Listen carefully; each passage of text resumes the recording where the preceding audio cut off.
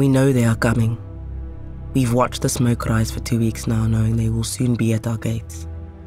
The gates you promised to finish whitewashing when you returned. All day, every day, tidy pillars billow straight up into the summer sky. No breeze dares bother them. Day by day, farm by farm, the English draw closer. Even on Christmas morning, we woke to smoke spooling across the sky like wool waiting to be wound. It cleared as you said prayers and we sat down to lunch. I still worry that pork was dry.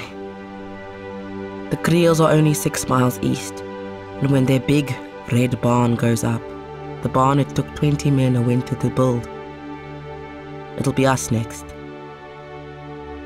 The chair I'm sitting on, every berry ripening on the tree outside the window, every fruit, every tree, they will all go.